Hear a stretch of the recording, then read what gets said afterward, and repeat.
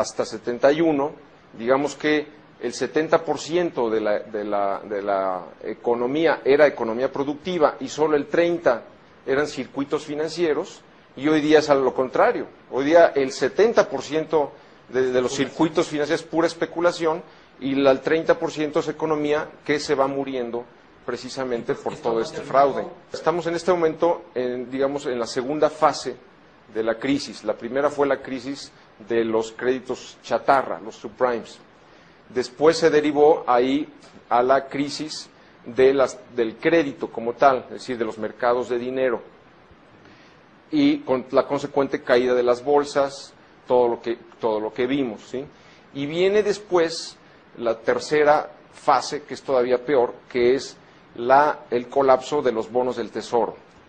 En este momento, ¿qué ha pasado? Que cuando se vino toda esta volatilidad en los mercados, pues los capitales corrieron a los bonos del tesoro. ¿Qué sucedió? Que se infló tanto ahora esa burbuja de los bonos del tesoro que ahora ya nadie la quiere.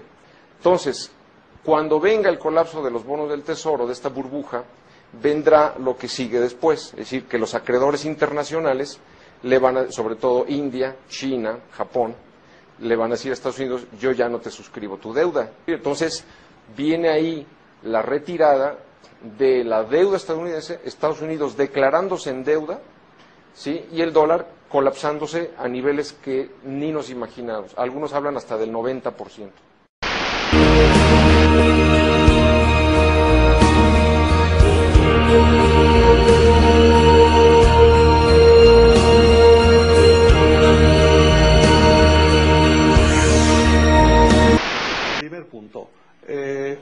Mucho los intereses en Estados Unidos. Sí. Eh, segundo, los bancos eh, necesitan hacer negocio Sí. y con el interés bajo mm, no lo hacen. Entonces los bancos deciden buscar un tipo de, de, de personas a las que prestar, a las que hacerles hipotecas. Ajá. Y estas personas son los que yo llamaba eh, ninjas, o sea, personas que no income, que no tienen ingresos, no job, que no tienen empleo, no assets, que no tienen propiedades. O sea, la clásica persona a la que tú no le dejarías ni cinco euros. Ya. Bien. Y empiezan a dar créditos Ajá. hipotecarios. Y al ninja le dice, ¿le interesa esa casa? El ninja dice, sí. ¿eh? Y el banco dice, yo le he tasado el 70 y le doy 100. Y el ninja dice, ah, formidable. ¿eh? Muy bien.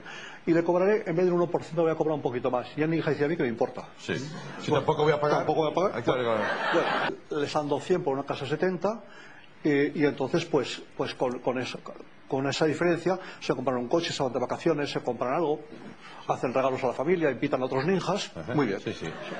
Casa- o sea, por tanto, casa tasada del 70, le han dado 100 al ninja porque el banco piensa que el mercado inmobiliario seguirá subiendo y llegará a 200.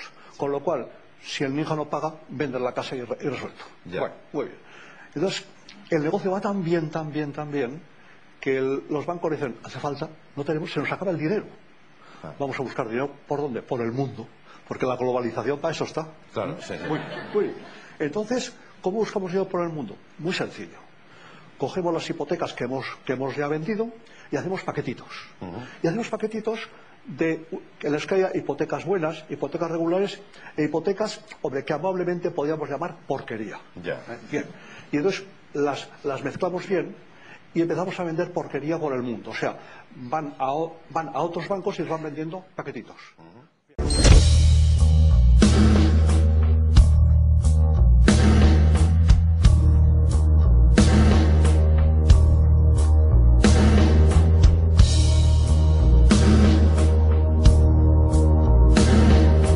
Management, something on its own, situations developing without any plans on how to handle them, but rather just reacting to circumstances as they come.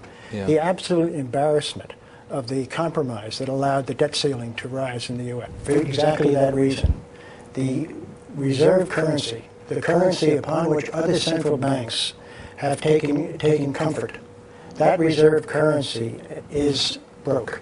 That reserve currency has debt that can't be controlled.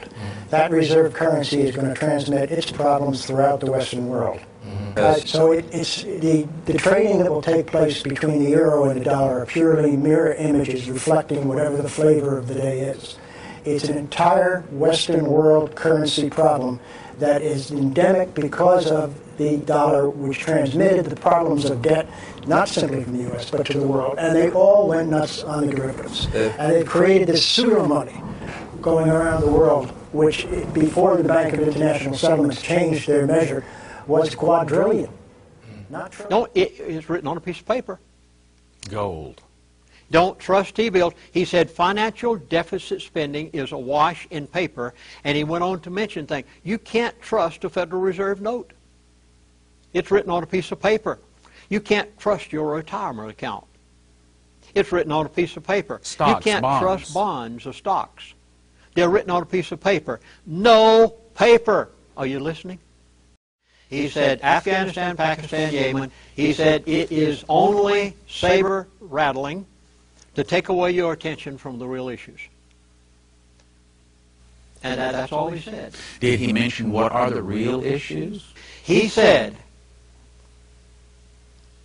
the Chinese are the strong ones. Oh my goodness. Was I amazed when he got on this subject. The Chinese are the strong ones. America is going to be relegated to third world states. And he said that I should go now and tell the nations of the earth that he is going to destroy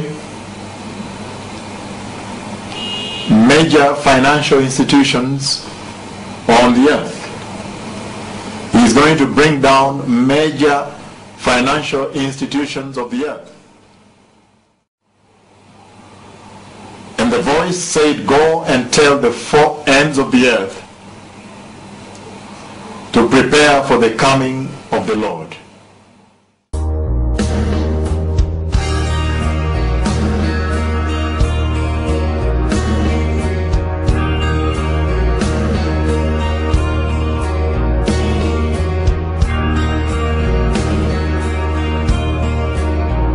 Here are your coffins, which you paid for, with your tax money. There are millions of them waiting for you in different states across the country. Each coffin can hold three or four people, and most of you will be crammed into one right after martial law is declared in America. New World Order. What is at stake is more than one small country. It is a big idea, a new world order. Turned so much toward a new world order and a new kind of civilization.